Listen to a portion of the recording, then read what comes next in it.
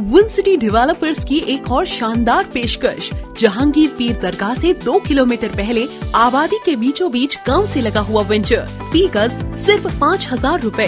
नकदिया आसान अकसात पर। दोस्तों, आप सबने ये मिसाल तो सुनी होगी, बड़े तो रमखा बने फिरते हो। लेकिन हम लोगों में से ज़्यादातर को ये नहीं मालूम कि ये मिसाल हमारे माशरे में कैसे आई। तो आज हम बात करेंगे दक्कन के शेर, साउथ इंडिया में आज़ादी की चिंगारी लगाने वाले तुर्रबाज रस्तम ख़ां या तुर्रम ख़ां के बारे में। तुर्रबाज रस्तम ख़ां या तुर्रम ख़ां बेगम बाज़ार हैदराबाद में पैदा हुए।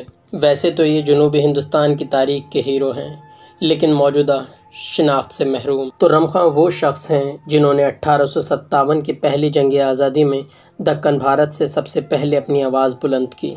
इन्होंने अपने इनकलाबी खिताब और हमत अमली से पाँच छः हज़ार लोगों को इकट्ठा कर कर जुलाई अट्ठारह में ब्रिटिश रेजिडेंसी पे हमला किया, जो अब कोटी हैदराबाद में उस्मानिया वेमेंस कॉलेज है। तुर्रम खां का यहाँ हमला करने का मकसद अपने बंदी बनाए हुए साथियों को आज़ाद कराना था। इस हमले के जुर्म में तुर्रबास खां को जेल में डाल दिया गया। एक साल की सज़ा पूरा होने के बाद तुर्रबास खां को काले पानी की सज़ा के लिए भेजना था, लेकिन उससे पहले 18 जनवरी अट्ठारह को तुरेबास खां जेल से भाग निकले। तब बरतानवी हुकूमत ने उनकी खबर देने वाले को पाँच हज़ार का इनाम रख दिया। तब दोबारा तोपरान तेलंगाना के जंगलों में इनको तोपरान के ताल्लुकदार की मदद से गिरफ़्तार कर लिया गया। गिरफ़्तार करने के बाद तुर्रम खां को गोली मारकर शहीद कर दिया गया और उनकी लाश को शहर के चौराहे पर नंगा कर कर लटका दिया गया ताकि आगे कोई बागी अपनी आवाज़ उठाने में खौफ खाए।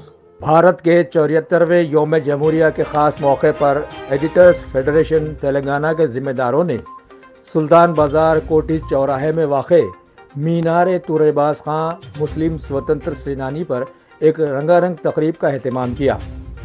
मेहमान खसूसी की हैसियत से जस्टिस बी चंद्र कुमार ने शिरकत करते हुए भारत का झंडा लहराया और उसे सलामी दी। बाद अजा सभी को मुखातिब करते हुए मुल्क की आज़ादी की लड़ाई में हिस्सा लेने वाले सभी सुरमाओं के साथ साथ खास तौर पर मुस्लिम रहनुमाओं पर गहरी रोशनी डाली और मुल्क के मौजूदा भड़काऊ वाले हालात के फंदे में ना फंसने का आवाम को मशवरा दिया।